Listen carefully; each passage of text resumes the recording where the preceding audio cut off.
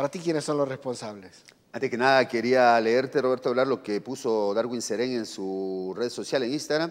Hay cosas que te vuelven más fuerte. Los problemas solo tienen dos soluciones. O te hundes con ellos o los superas, aprendas, aprendes y creces. Eh, me gusta, ¿no? Eh, ya, lo pasado pasado y a, echarle ganas.